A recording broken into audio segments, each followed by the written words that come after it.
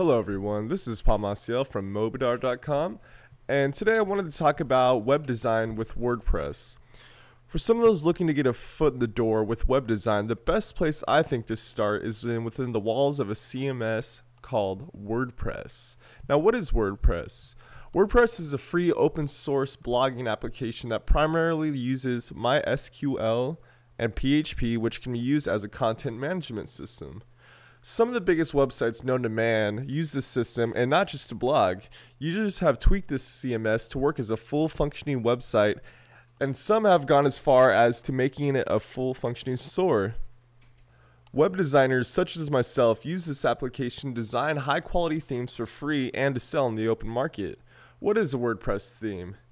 A WordPress theme is a specific page, layout, and design that a user can install or create to achieve a certain look and feel for their site.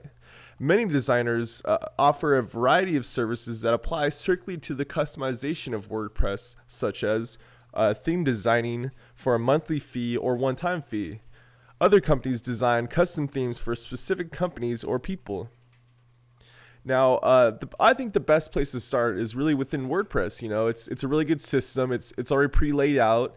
Uh, it's really easy to use. All the controls are basic. You can look at all the HTML and the codes within the theme editor underneath appearance and under themes and editor. And you can cl- create a lot of cool themes with this software. You know, it's really good software to start out on.